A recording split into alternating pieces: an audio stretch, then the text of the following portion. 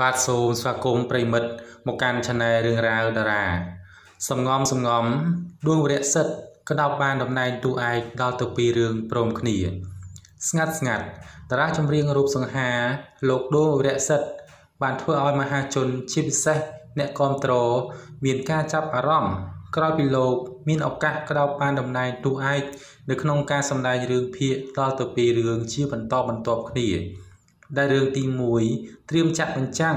នៅក្នុងពេលឆាប់ឆាប់នេះដែលលោកសម្ដែងជាជាមួយតារាស្រីឌីសូដានីតាបាទមិនត្រឹមតែមានសម្លេងផ្អែមពីរោះប៉ុណ្ណោះទេតារាចម្រៀងដួងរសិទ្ធក៏មានសមត្ថភាពអាចនិពន្ធបទចម្រៀងបានថែមទៀតផង ហើយមួយរយៈចុងក្រោយនេះលោកមិនសូវមានបទចម្រៀងថ្មីៗនោះទេដោយសារតែលោកជាប់មមាញឹក នៅក្នុងការសម្ដែងរឿងឲ្យទូរទស្សន៍ហងមាសដែលមានទាំងរឿងសម័យនិងរឿងបុរាណ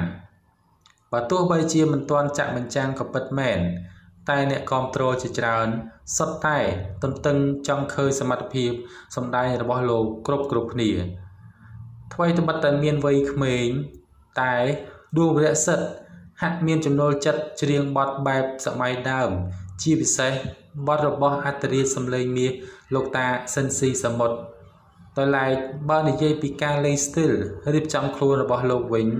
មើលទៅពិតជាស័ក្តិសម ជាតារាចម្រៀងប្រុសពេញលក្ខណៈតែម្ដង។